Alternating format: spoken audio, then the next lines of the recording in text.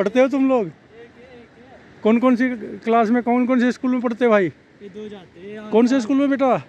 बाहर जाते हैं आंगनवाड़ी स्कूल में यहाँ आंगनवाड़ी? अरे ये तो आंगनवाड़ी की उम्र से तो बड़े हैं। ये दूसरा स्कूल हमारे हाँ इनका नाम लिखवाना है बड़े स्कूल में जो एक से पाँच तक का होता है। हाँ, हाँ उसमें लिखवा देना है। ठीक है है। ठीक है भाई बहुत अच्छे काम कर रहे हो आप बहुत मेहनती हो बहुत सुंदर बहुत बढ़िया।